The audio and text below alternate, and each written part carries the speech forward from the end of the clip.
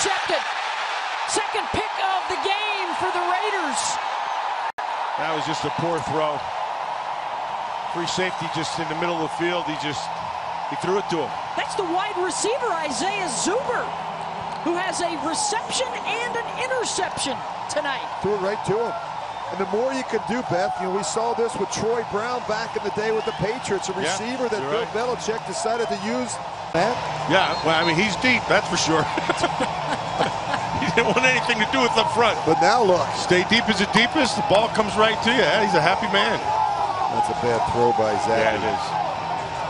That had no chance. 27 yards on the return for Zuber.